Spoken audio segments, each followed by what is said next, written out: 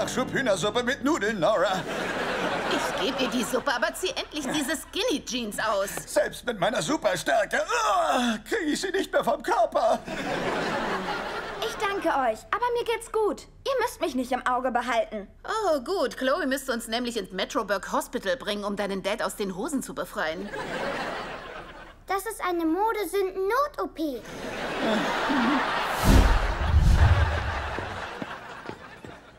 Max? Hast du dafür eine Erklärung?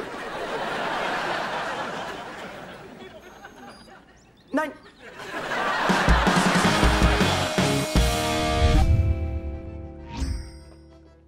Die kurze Party ist eine Laserparty.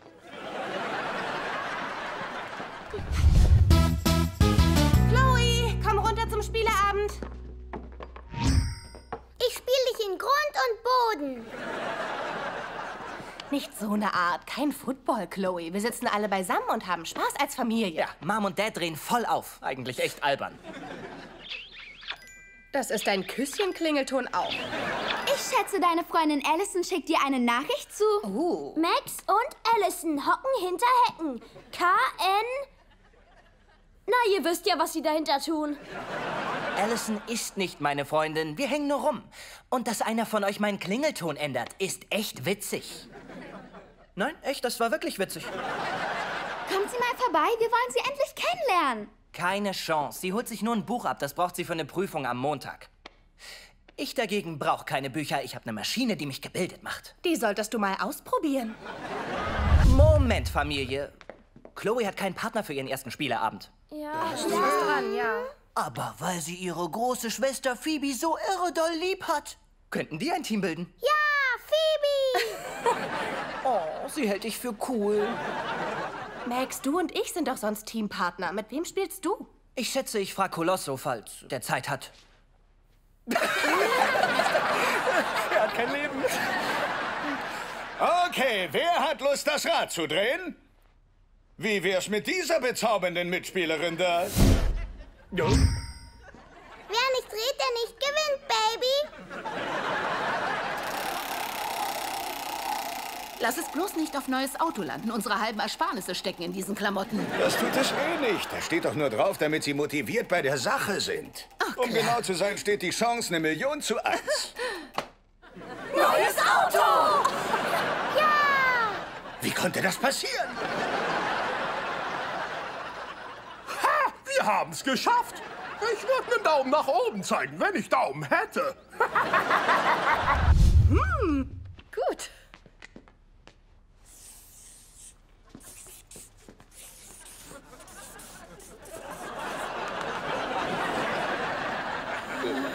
Also, Das ist furchtbar, aber weggucken kann ich auch nicht.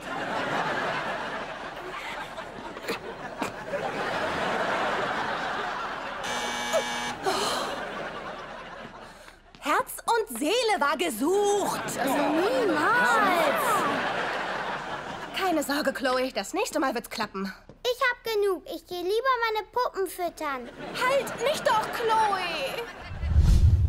Ich sehe gut aus, Baby. Mom, Dad, Billy hat mit seinen Salamipfoten mein Tablet beschmiert. Eigentlich hast du dein Tablet an meine Salamipfoten gerieben. Entschuldige dich. Billy, stopf nicht so viel Salami in dich rein. Aber sie ist voller italienischer Vitamine wie der weißen gummiartigen Knorpel da. euch Kids nur zuzuhören macht mich älter. Abflug ins Kino. Thunderman, auf und davon! Sorry, Bob, wollen wir? Bis bald. Bis wir Schwestern. Alles klar, Chloe. Hast du Lust auf die Geschichte von Robin Hood? Max! Vermutlich eher nicht. Hallo, mein kleiner Wirbelwind. Es heißt, die Zahnfee hat dir gestern eine Münze zugesteckt. Katsching!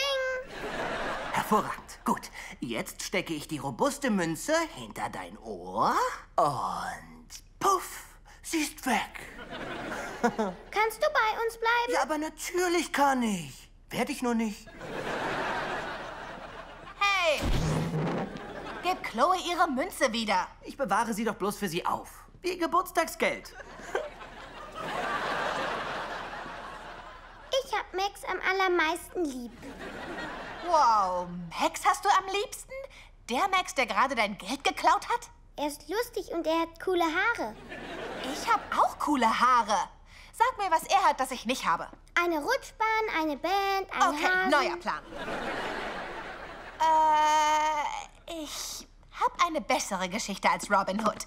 Ich nenne sie Phoebe Hood. Mag sein, dass du danach manche Mitbewohner anders siehst. Es war einmal vor langer Zeit in einem Land weit, weit weg ein bildschönes Mädchen mit dem Namen Chloe die Süße. Alle haben sie gern gehabt und sie mochte die anderen, außer den bösen Sheriff. Hallo, Pöbel. Seht mich an. Sheriff Maxingham.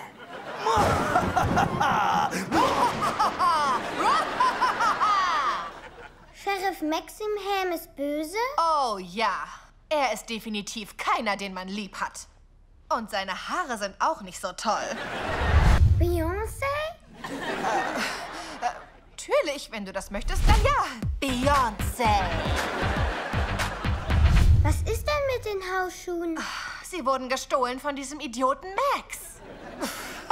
Sagte ich gerade Max? Ich meinte Maxingham. Witzig, oder? Die Namen klingen beinahe gleich. Zum Thema. In der Burg zitterte Sheriff Maxingham vor Furcht vor seinem bösen und auch übermächtigen König. Nicht Phoebe Hood, die habe ich am allerliebsten. Yep. Und ich verrate dir was. Phoebe Hood basiert auf mir. Ich schätze, du magst mich am allerliebsten. Ist Maxingham dann wirklich Max? Yep. Das macht ihn zu dem, den du nicht am liebsten hast. Was geht ab, ihr Partylöwen? Du bist ein fieser Sheriff. Ich bin fieser, was genau? Chloe, was ist mit Max passiert? Der zittert jetzt am Nordpol. Warum machst du denn das? Wegen der Geschichte, was sonst? Oh. Chloe, du holst auf der Stelle Max zurück vom Nordpol. Nope. Komm schon, ich bitte dich. Ihn hast du am liebsten, weißt du nicht mehr? Nein, dich habe ich am liebsten. Es ist schwer, das zu genießen, wenn Max von einem Eisbären verputzt wird. Wir sind zu Hause. Der Ausgehabend ist offiziell vorbei. So schnell? Ich meine, ihr wart kaum länger als eine Stunde fort. Was für ein Ausgeabend ist das? Ach, dein Vater konnte nichts sehen. Er hat die Brille vergessen, sagt er. Doch dazu hat mir jemand mein Popcorn gemopst. Ich bin mir sicher, dass Max dahinter steckt. Max? Nein, Dad, äh, Max ist früh zu Bett gegangen. Er bekommt wohl eine Erkältung. Kalt ist er schon. Wisst ihr was? Holt ihr zwei euch doch ein bisschen Eiscreme, hä? Ich bezahle. Ein Date darf nicht so enden. ihr geht zurück, könnt weiter ausgehen. Und zwar ohne eure Kinder. Null Kids problemfrei. Es geht ab. Okay, Chloe, hör zu. Ich weiß, in meiner Geschichte mag Max ein bisschen böse gewirkt haben. Aber du wirst ihn zurückbringen, wenn du das Ende der Geschichte kennst. Im Königreich wurde Phoebe Hood gefangen gehalten. Doch plötzlich fasst sich Maxingham ein Herz. Ich fasse mir ein Herz. Uh, ich gehe jetzt ins Bett. Halt, nein, nein, nein, äh, mein Fehler. Ich, äh, hab das Ende verwechselt. Äh, jetzt folgt die richtige Version. Phoebe Hood sollte mit dem Katapult für immer aus dem Reich geschleudert werden. Lebt wohl! Ihr werdet mir fehlen! Selbst du, Kackersammler! Sie kennt meinen Namen. Bitte wirf Phoebe Hood nicht aus dem Reich. Sorry, Kleine. Ich kann unmöglich gleichzeitig gut aussehen und höflich sein. Doch du kannst.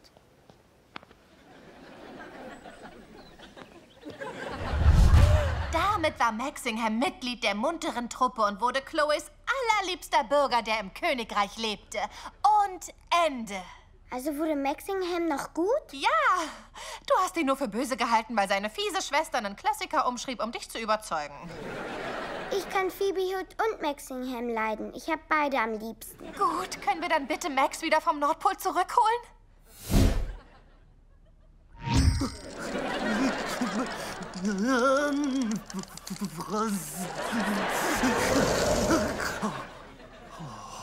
Danke, dass du mich wieder zurückgeholt hast, Chloe. Wieso bringst du mich zum Nordpol, Chloe?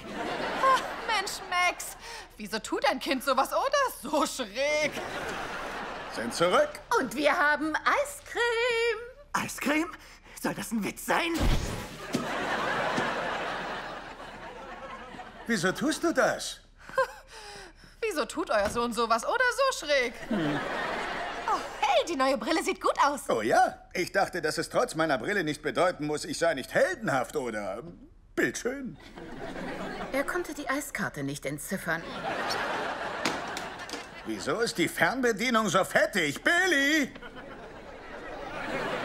Sorry, das war nicht Billy. Was soll ich sagen? Der kennt sich aus mit Salami. In Smoothies schmeckt sie auch gut. Tut sie nicht. Ich geh kotzen. Ich mag Billy. Ihn habe ich am allerliebsten.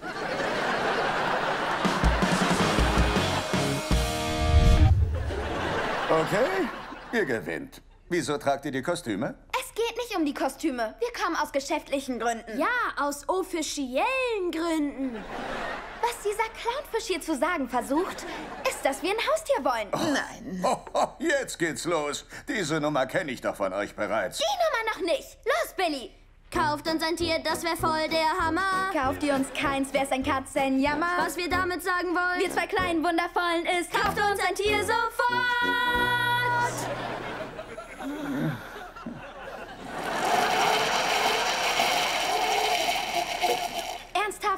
Gar nichts. Es tut mir leid, aber ihr zwei seid einfach noch nicht bereit für ein Haustier. Oder den Broadway. Sie hat recht, das ist eine enorme Verantwortung. Wir haben befürchtet, dass ihr das sagt und deshalb diesen Konter vorbereitet. Bitte, Mami und Daddy. Muss der Niedlichkeit widerstehen? Gut, ich sag euch was. Kümmert euch doch für das Wochenende um Dr. Colosso. Und wenn er danach sagt, dass ihr gut auf Tiere aufpassen könnt, dann bekommt ihr ein Haustier.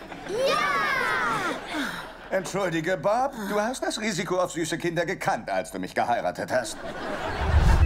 Dann versetzte die böse Hexe die hübsche Prinzessin in einen ewig währenden Schlaf. Ende? Ich liebe böse Märchen. Lass dir dein gesundes Gemüse schmecken, Colosso. Wenn das nicht mal lieb ist. Ich will diesen Müll nicht. Ich möchte eine Pfannenpizza aus Chicago. Es gibt nur Hasenfutter. Wir müssen Mom und Dad beweisen, dass wir uns um Haustiere kümmern können. Na schön. Hank! Bob! Die Kinder lassen mich verhungern! Hey, wenn wir dir geben, was du willst, sagst du denn, dass wir reif für ein Tier sind? Ich mache keine Versprechungen, bis ich die Ware sehe. Oh ja, dann hauen wir mal rein. Wie kann er sein kleines Maul nur so weit öffnen?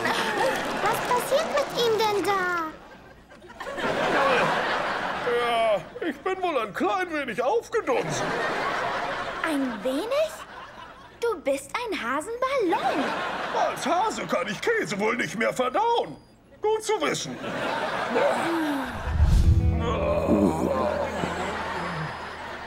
Entschuldige, Kolosse, wir können nicht zulassen, dass Mom und Dad dich so sehen, sonst bekommen wir kein Haustier. Wir müssen dich abdecken, bis wir eine Lösung gefunden haben. Dafür. Ach, bleib locker. Hier kommt eh nie jemand runter. Da, wir kommen runter. Hey, wir wollten nur mal nach dem Rechten sehen. Ja, Colosso, wie stellen Sie sich so an? Halt! Er schläft. Und als verantwortungsvolle Besitzer wollen wir nicht, dass jemand seine Ruhe stört. Äh, das war ich. Mein Magen grummelt voll. Ach, dann komm mal mit Hochsüße. Wir kümmern uns um deinen Magen mit ein wenig Ingwertee. Ihr schuldet mir was.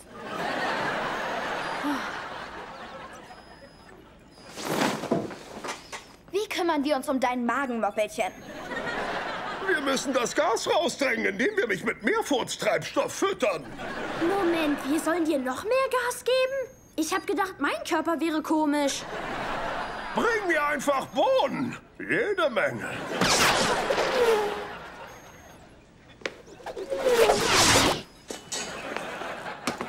Okay, ihr Kids wisst, wie es läuft.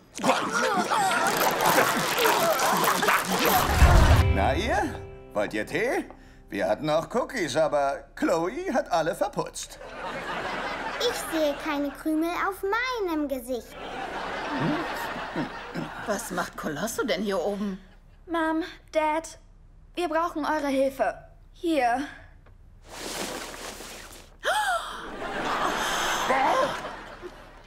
Sieh mich nicht an!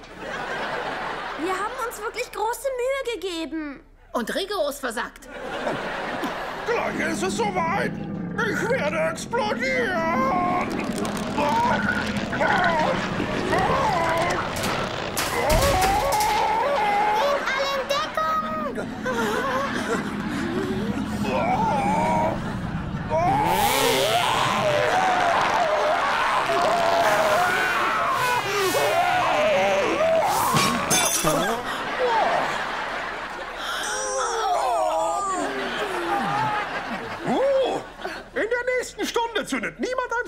Streichholz an. Ja, wir wollen kein Haustier mehr. Äh, Chloe, Max hast du jetzt gemalt. Komm doch mit uns rein und mal Mami und Daddy. Nope, aber ich male die Couch. Möchtest du vielleicht Mami und Daddy, die auf der Couch sitzen, malen? Nope. Hey, Chloe. Bist du bereit, Mami und Daddy zu malen? Nope, das Kampfteam. Gut, aber vielleicht malst du uns, wenn du fertig bist. Nope. Nicht weinen, Hank. Nur keine Schwäche zeigen. Und wen malst du jetzt, Chloe? Den Pinguin? Weil er der Grund ist, dass du schöne Sachen hast. Ich male Mami und Daddy. Was? Ich dachte, du willst uns nicht malen. Das Beste kommt immer am Schluss. Okay, jetzt können wir weinen, Hank. Nicht vor dem Kampfteam, den wir draußen weinen. Oh, das muss ich auch malen. Das war symbolisch.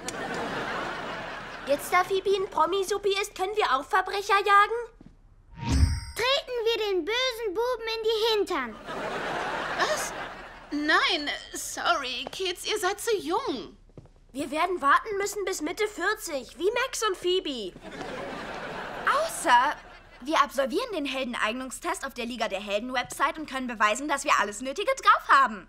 Gute Idee. Ist das ein Ja-Nein-Test? Ich bin super in den Dingern. Das glaube ich nicht. Ja. Das ist kein Test. Nein. Du spürst gleich meinen Laser. Nein. Au. Okay, bei dir war's doch ja. Ich baue eins für euch. Entschuldige, Chloe. Nur mit Niedlichkeit kannst du keins bauen. Mit der Einstellung natürlich nicht. Dann weiter. Vielleicht hilft uns Mom, aber du fragst sie. Hey Mom, baust du uns ein Spielhaus? Belly? Wieso fragst du das? Weil du gesagt hast, Dad hat gesagt, dass Mom nicht gut mit Werkzeug umgehen könnte und wir sie nicht fragen sollen.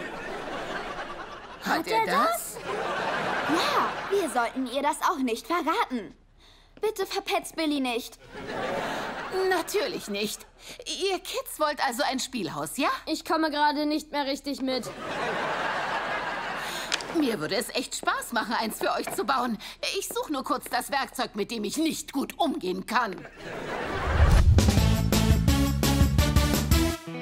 Okay, Thunder-Familie. Es gibt Grund zur Freude. Wir machen einen Ausflug alle zusammen. Nach Japan? Spanien? Narnia? Noch viel besser. Wir gehen zum Schuhshopping. Das müsst ihr aber leider ohne mich und Phoebe machen. Wir haben Superheldentraining am Haus heute. Training in the house. Schon gut, ich mach's nicht mehr. Ich dachte, ihr hättet für diese Woche genug trainiert. Ja, aber wir haben noch Zusatztraining. Ja, in dem Fall eine optionale Lerneinheit mit extra Credits, in der wir... Wir wissen, Super Nerd. Max, wo willst du hin? Och, ich habe auch so eine Art Training. Bandprobe. Ich schreibe einen Song mit dem Titel Bis später, ihr Loser. ihr hört ihn später, ihr Loser. Okay, dann bitte ich alle von euch, die nicht trainieren, ins Auto. Ich kauf mir Schuhschuhs. Und so hat's zu laufen. Wow. Es sieht aus, als hätte der wilde Westen aufs Blackburger gekotzt. Yippie, Thunderdogs! Lockt euch der Wettbewerb her?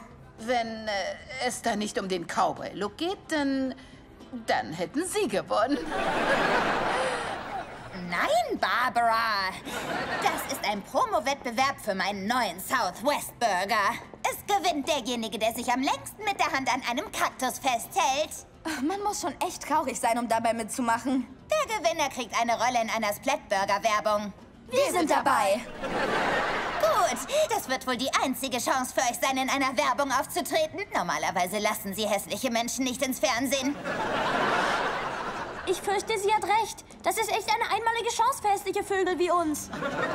Aber Wong hat gesagt, dass nun der Letzte am Kaktus gewinnen würde. Das ist okay. Wir sind eine Familie. Gewinnt einer von uns, gewinnen alle. Alle herhören! Wir fangen an, ihr bemitleidenswerten Möchtegern-Stars. Haltet euch an einem Kaktus fest. Keine Sorge, ich habe die Stacheln vorher entfernt. Au! Oh, ein paar habe ich wohl übersehen. du bist raus, Pinky Girl. Hungrig. Okay, du kannst gern was essen. Wir dürfen nur diesen Kaktus nicht loslassen. Also drück einfach die Knöpfe und bestell dir was. Kann ich alles bestellen, was ich will?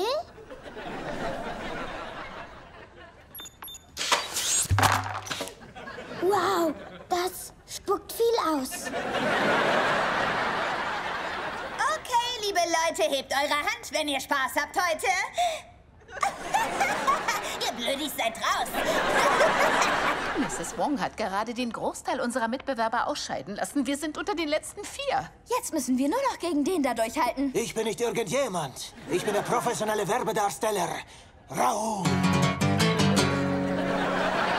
Habt ihr die Gitarre auch gehört? Das ist mein Cousin. Ich bezahle ihn, damit er überall mitkommt. Sein Name ist Gustavo. Das ist Gustavos Cousin. Wir sind eine talentierte Familie. Bist du bereit für den großen Sieg, Raoul? Äh, Was meinen Sie? Jeder von uns könnte hier noch gewinnen. Keine Chance, Barbara. Raoul wird heute gewinnen. Er trainiert schon seit Monaten dafür. Meine Waden sind wie der Stamm eines Redwood-Baumes, stramm an der kalifornischen Küste. Sie haben zwar den Wettbewerb manipuliert mit einem Typen, dessen Waden eine Walnuss knacken könnten. Gracias, Chiquita. Aber die Thundermans gehen nicht unter, ohne zu kämpfen. Bitte, verschwenden Sie Ihre Zeit. Aber Raoul wird der Letzte im Wettbewerb sein, weil er ein anerkannter Muskelprotz ist. Das ist wahr. Anerkannter Muskelprotz. Das wird echt schwer, Leute. Ich bin ein Muskelprotz, aber anerkannt bin ich nicht. Senorita Wong, die Massage fühlt sich an, als ob tausend Schmetterlinge tanzen auf dem perfekt geformten Rücken von Raoul. Das ist unfair. Mrs. Wong versucht zu betrügen. Wir ziehen auch andere Seiten auf. Nora, Wong mal Wong ergibt nicht Plus. Ja, das sagte ich. Die Thundermans halten sich an das, was die Regeln wollen. Was glotzt du so, Mom Jeans? Okay, jetzt gibt's saures Donkey Wong. Ja, das sagte ich auch.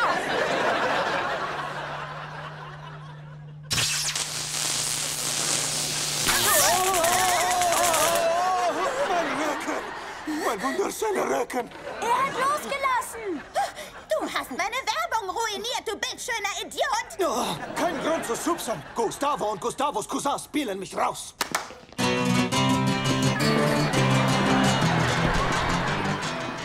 Ja, geschafft. Okay, ihr könnt jetzt loslassen und mich gewinnen lassen. Was? Du willst gewinnen? Dieser nicht anerkannte Muskelprotz wird gewinnen. In deinen Träumen. Diese Werbung gehört mir. Ganz recht. Das Schleifchen fällt. Richtet euch, meine Lieben. Ich muss einfach gewinnen. Ich bin die Einzige mit genug Schauspielerfahrung dank meiner erfolgreichen Electros-Ärzte-Serie Superstarke Medizin. Wir verlieren sie, Doktor. Nicht solange es mich gibt. Dr. Electros schafft das. Achtung! Sowas nenne ich superstarke Medizin. Wir haben hier eine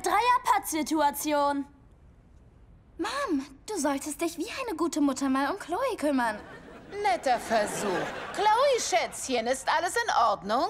Alles bestens, Baby.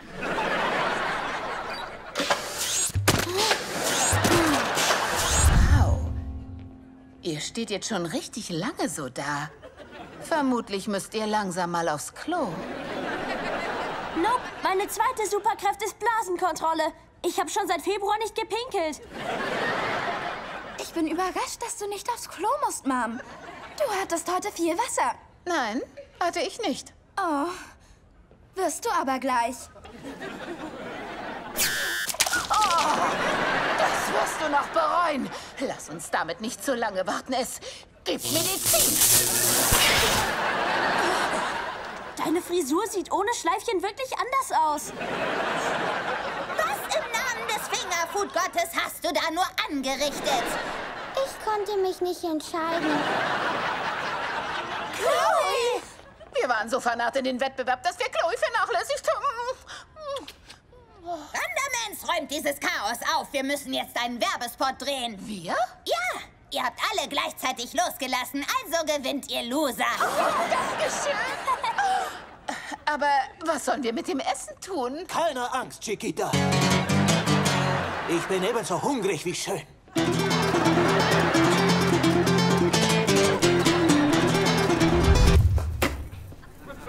Das war einfach. Mom, Dad! Mrs. Wong hat schon wieder einen Ball in den Himmel geschickt. Ganz sicher, dass sie es war? Ja, sie setzt Brandzeichen. Jemand sollte dieser Lady ihre Windeln wechseln, aber pronto. Fragt ihr euch auch, warum Mrs. Wong so gemein ist? Ah, ah. Ich bleib bei meiner Hexentheorie. Denkt mal drüber nach. Hat einer von uns schon mal gesagt, Hallo, Mrs. Wong? Oder Freut mich, Sie zu sehen, Mrs. Wong. Oder Mrs. Wong, kommen Sie doch auf einen Pfirsichauflauf vorbei. Was redet sie denn da? Keine Ahnung. Irgendwas mit Auflauf. Ich glaube halt, möglicherweise ist Mrs. Wong nett zu uns, wenn wir auch nett zu ihr sind. Zum Beispiel... Oh, könnten wir ihren Zaun reparieren? Schatz, manche Menschen sind halt Stinkstiefel. Da ist es am besten, sie in Ruhe zu lassen. Wieso sagt sie Auflauf? Jetzt will ich Auflauf. Alarm. Mrs. Wong nähert sich dem Haus. Veranda-Laser aktiviert. Nein, Thundermonitor, stopp! Wer programmiert Laser für Mrs. Wong? Schuldig, Baby.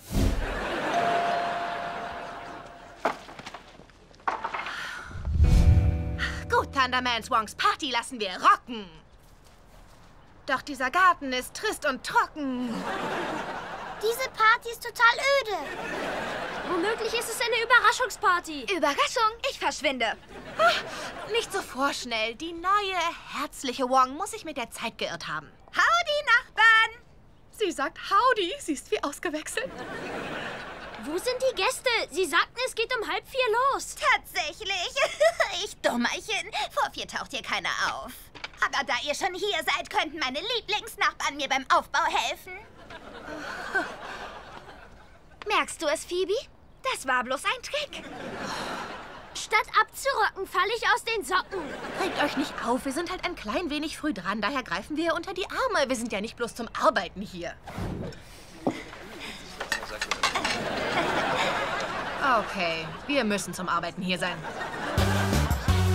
Halt die Krabbenküchlein. Krabben machen üble Küchlein. Spielen wir doch eine Runde Beeilung. Viel Spaß. Los. Ich sagte doch Beeilung. Ich verpasse die Filmtrailer.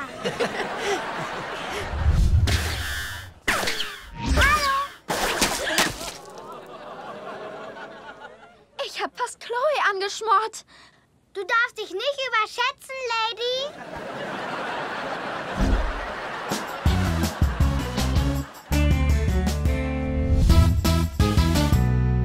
Fressattacke! Brokkoli? Verschwende nicht meine Zeit.